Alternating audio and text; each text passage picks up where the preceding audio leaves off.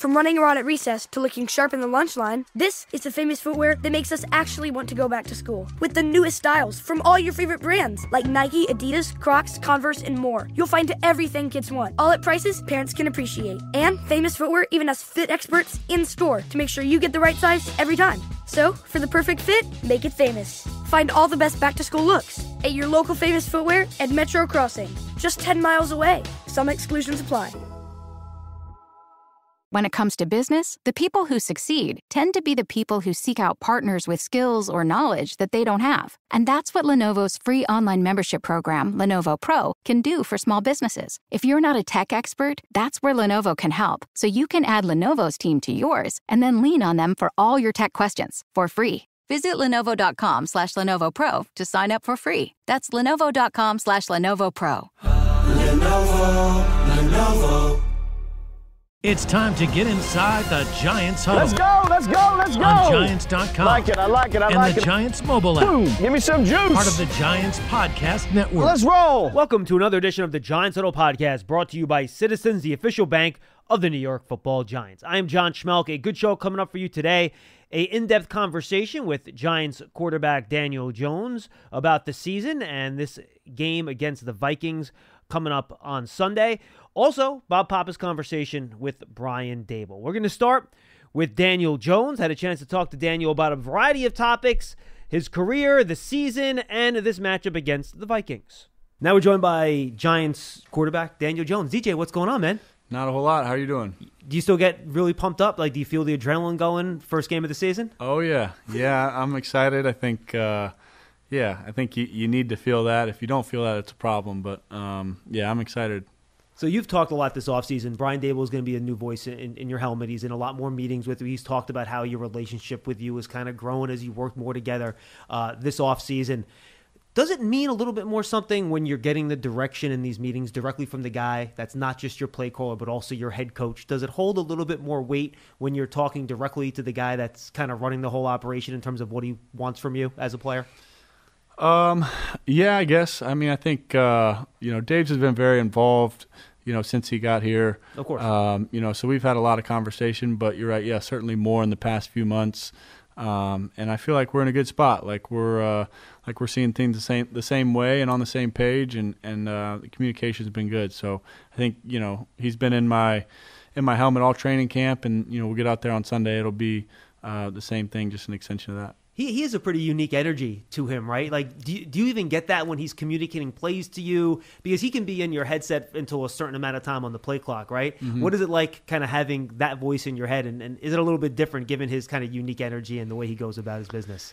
Yeah, he's he's very passionate, very competitive. I think um, you know you, you feel that, you sense that uh, in the play call, and and uh, you know I think uh, you know a lot of times it's just the play call. You you don't get any more commentary, so that's uh, you know it's just about the play and executing that. You know in practice you'll you're getting the play call, and then there's you know after your period or after your sets you're communicating, talking to the coaches, going th- going over things. So that's really where you hear the maybe that personality and, and that passion. But uh, you know, when the play's coming in, it's usually just a play call. He was asked today about you know what he wants from his quarterbacks, and he said, "Just be a good decision maker, make good decisions."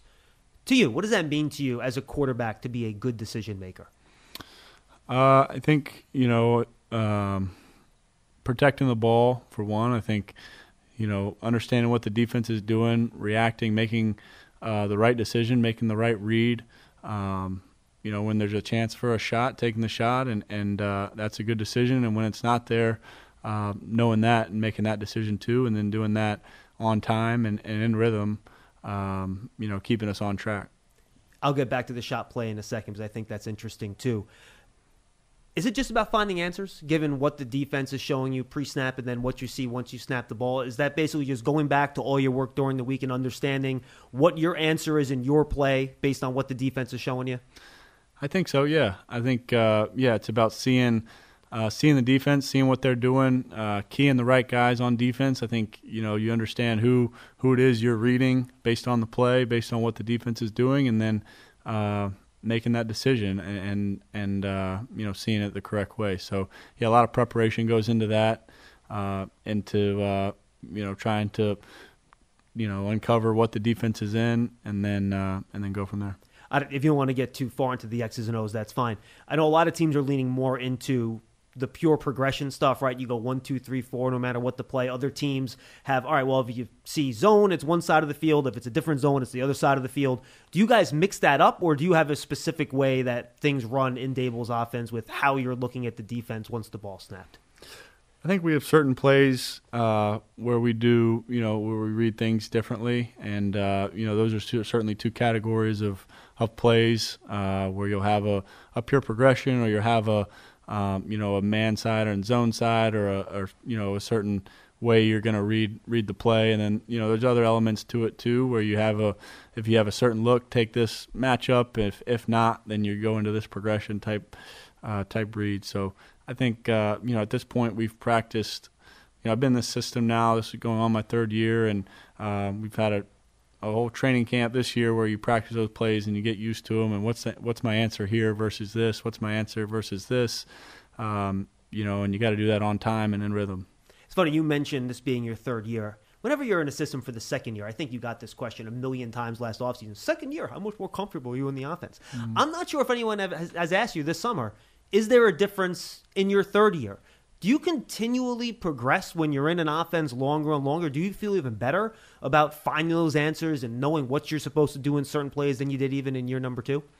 I think so. Yeah, I think uh, you know being in the system for a third year helps. Um, just playing another year of football, you know, and uh, yeah, I missed a lot of time last year with the knee. Um, but you watch football and you try to stay on top of it. I think just another year of learning and um, you know, you know, hearing hearing the play calls, watching the film, uh, listening to the coaches. I think you're always trying to learn and grow. But I feel more comfortable than I did last year, and um, you know, hopefully that's always the case. You feel a little bit more and more comfortable, like you know a little bit more every year. Does that show up in how quickly you can then get through that decision making process once the ball's in your hand? Yeah, absolutely. I think uh, the challenge is always, you know, can I make the right decision as quickly as possible uh, on time? Um, you know, I think that's that's always a challenge. So the the more you see it, the, the quicker you're able to recognize it, the you know, the quicker that decision comes. So I, I think, uh, yeah, a, it helps. More reps always help. You said it earlier. Um, when there's a chance to take a shot, take the shot.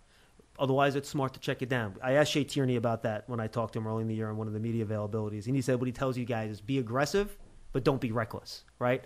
How do you, in the heat of that moment, when you have to make that decision and – a half a second whether or not to let that ball go. How do you balance between aggressive but not reckless? Yeah, um, you know, all the decisions you make are, are in that half second. So you got to get good at, at, making decisions quickly. I think that's that's part of the challenge of playing quarterback. Um, but it's knowing where to look, knowing where your eyes need to be, uh, who's the defender you're reading, uh, what's he doing, what's his body language, and then you know you got to make a make a call and, and go with it. So um, it's just practice and repetition and seeing the right guy, timing it up with your feet, um, and getting the ball out.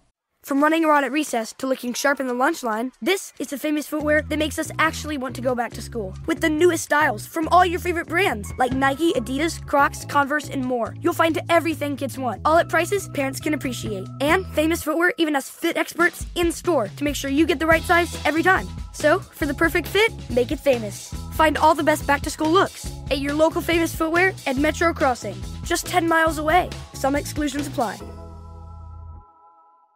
I was talking to Eli yesterday, an interview that's going to air on, on the radio pregame show. And I talked to him because he's had great wide receivers, guys on the top 100 list. Odell Beckham, right? Uh, Hakeem Nicks, Victor Cruz. And he talked about the impact of, of having a guy that you can consider a number one and how it makes some of that decision making process easier, right? All right, well, you're your man, I don't care what the play is. I'm going to my guy. He's my guy in a great situation, right? So if Malik does end up developing into that type of number one wide receiver, he's a rookie. We'll see how that goes, right? Does that make some of the decision making process easier for a quarterback, knowing that if I'm in man, if they're in man, I have this guy that I know he's going to win, and I can get him the football. Uh, yeah, I think I think so. I think um, you know, I, I, got a lot of trust and, and faith in, in all our guys. I think they've done a really good job through camp. And, um, you know, I do think it, it is some, you know, you get man to man coverage and you got to have a consideration of, you know, who's running which route and who's the defender, um, you know, what are my guys best at, what are the defenders best at, Sure. what's my best kind of chance to to get a win here.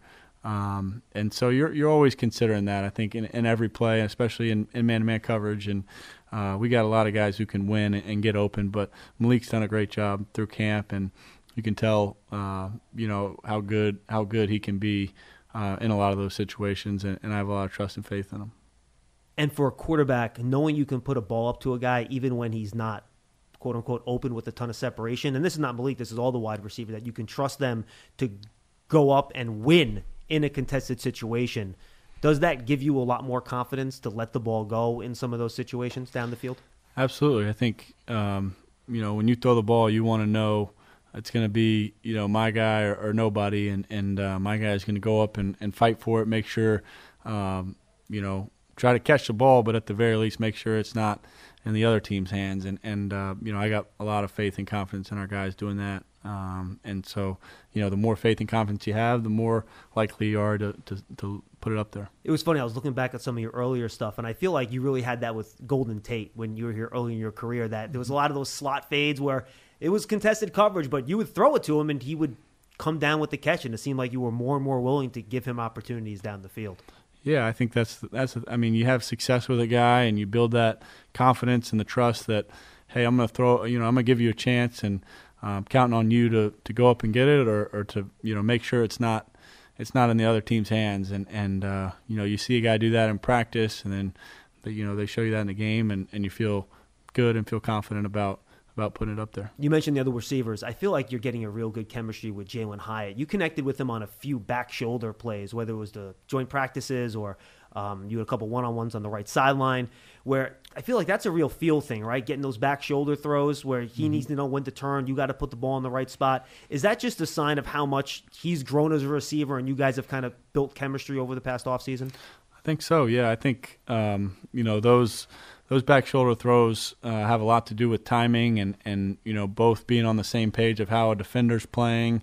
Uh, you know, you're kind of reading it, trying to see it together, uh, and make the right decision. And then it's about you know ball placement and then him judging it right and kind of falling off at the right time. Jalin's done a good job with them throughout training camp, and he's got a really good feel for for those. Um, but we spent a lot of time together this off season, you know, throwing, working out, um, you know, communicating and um, I think you know he's had a really good camp and shown up in a lot of big spots.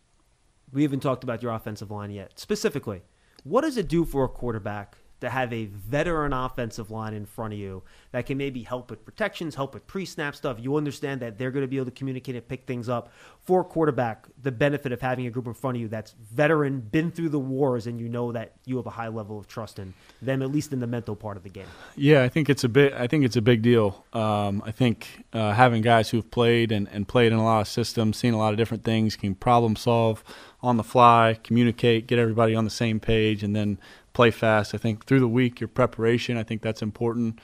Those guys know um, they know what to look for. They know how it needs to be communicated, um, and then when you get out there on the field, um, you know, it's just translating that. And, and you know, ultimately in a game, some stuff's going to come up that you haven't, you know, had time you haven't seen on tape or, or you didn't get repped in practice, and uh, you got to find a way to make it work. And and uh, you know, having veteran guys, uh, you know, helps that. It helps me, um, and I think all those guys have done a good job.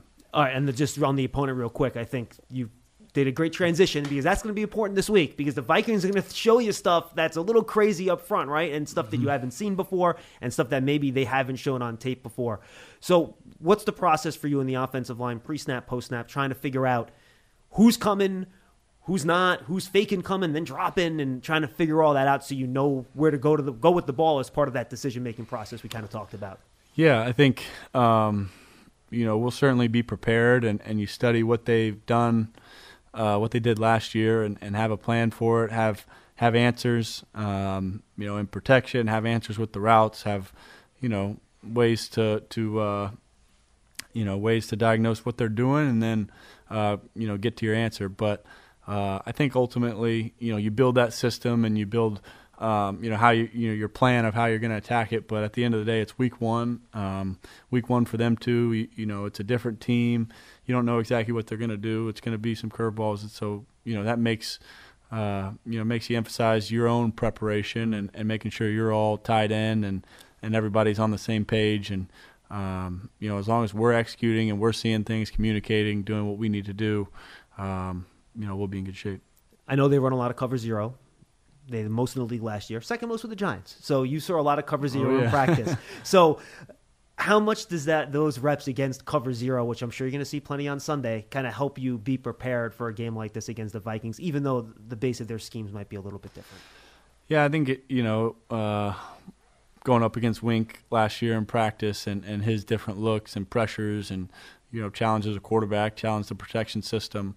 Um, yeah, I think all that all that's helpful. The more reps you can accumulate, more times you can see it, the quicker you can be diagnosing it and getting to an answer. So, um, yeah, I think you know some of that some of that experience is helpful for sure. And then finally, they also drop eight, right? They don't just blitz; they also drop 8 Uh, for a quarterback, when you see eight guys back, only rushing three, is that a deal where you have opportunities to run because there's going to be some lanes, only three guys rushing? You can be more patient back there, trying to find somebody. How do you handle when teams drop eight, only rush three?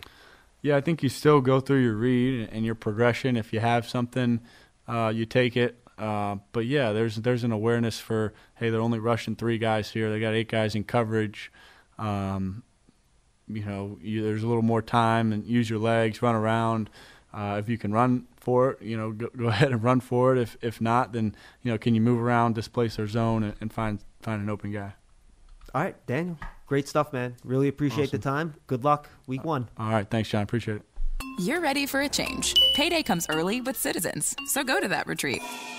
New you moves to the country. Now you're raising goats and launching a lifestyle brand. Are you ready for all that life brings? You love turf. You're good at it. So you start a turf biz. Business grows, your savings grow. Become the most celebrated name in turf. Are you ready for all that life brings?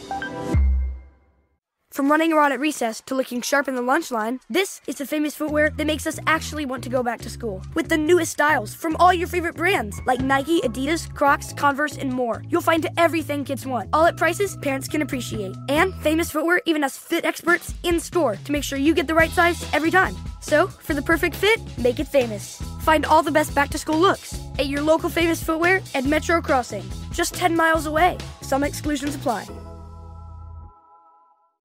Good stuff there from Giants quarterback Daniel Jones. The Giants Huddle podcast is brought to you by Citizens, the official bank of the Giants. From game day celebrations to your everyday financial needs, Big Blue fans can get the most out of every moment with Citizens. Learn more at citizensbank.com slash Giants. Now it's time to listen in to Bob Papa's conversation with the head coach of the NYG, Brian Daboll. He started with Coach by asking him whether or not he still gets excited for opening day. Absolutely, uh, it's it's one of the the great times in, in the NFL season is opening day. There's a lot of unknowns. Um, you know, you're still figuring out your team and you know figuring out the other teams and things like that. So um, I know the guys are excited to to go out there and, and play another against another opponent. Um, you know when it counts. Do you have to for the young players, maybe the rookies, uh, just you know talk to them, and maybe you have during the course of the week about, hey, look, it's a 60-minute game. You know, let's let's just manage this and let's not peak too early as far as emotions are concerned. Yeah, you know, we'll talk about we'll talk to that about our whole team. Um, again, it's an important game. It's, it's the first game. It, it only counts for one. Um, so after after the first week, you're going to have a bunch of teams that you know have a loss and a bunch of teams that have a one, and it's a long season. And um, you know, our focus has to be just one play at a time, not get too high, not get too low, um, and be in the moment. Let's talk a little bit about the Minnesota Vikings. Um, obviously, you know, when you played them two years ago on Christmas Eve and then you beat them in their place in the playoffs, uh, it was kind of back and forth, a lot of up and down.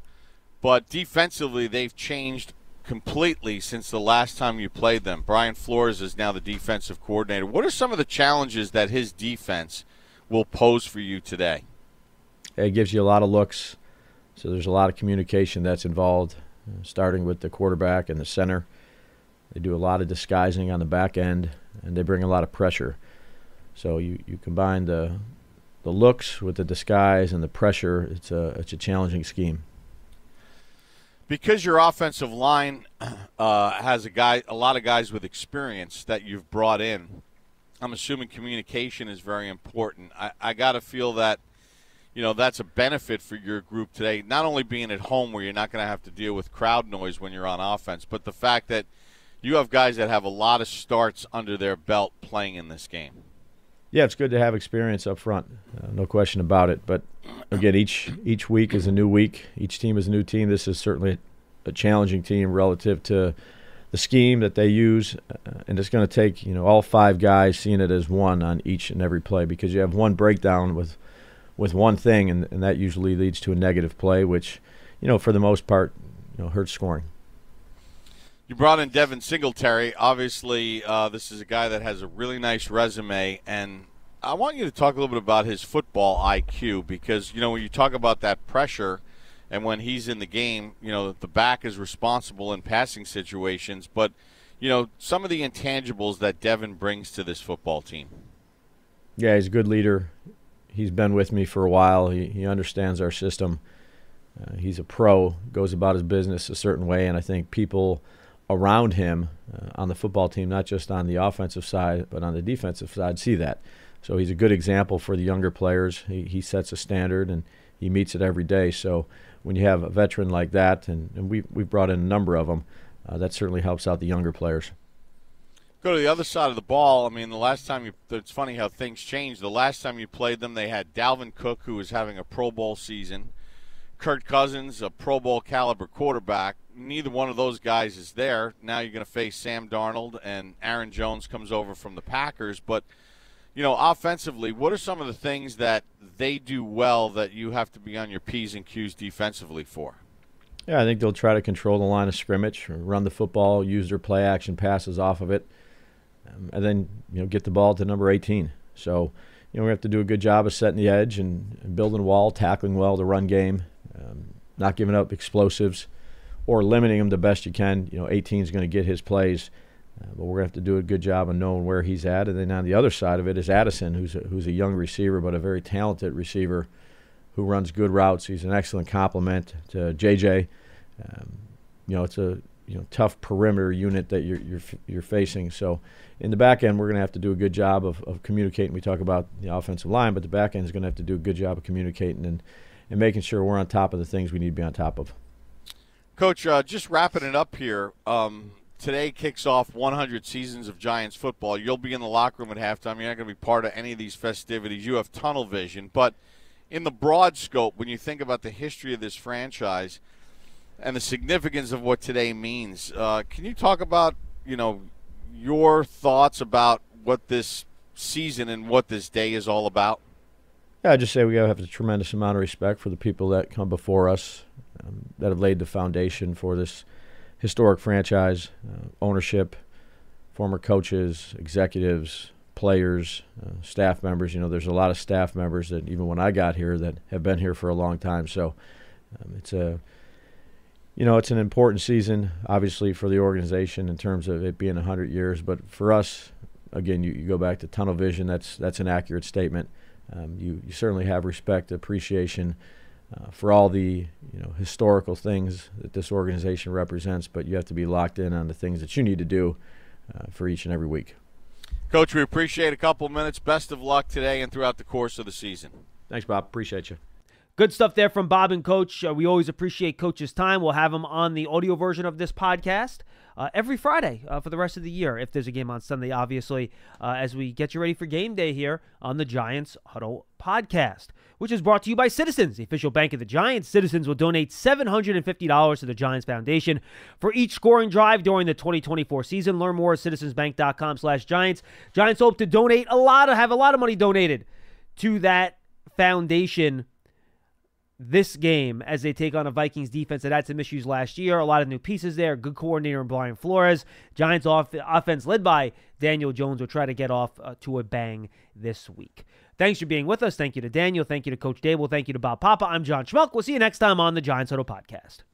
When it comes to business, the people who succeed tend to be the people who seek out partners with skills or knowledge that they don't have. And that's what Lenovo's free online membership program, Lenovo Pro, can do for small businesses. If you're not a tech expert, that's where Lenovo can help. So you can add Lenovo's team to yours and then lean on them for all your tech questions for free. Visit lenovo.com slash Lenovo Pro to sign up for free. That's lenovo.com slash Lenovo Pro. Lenovo, Lenovo.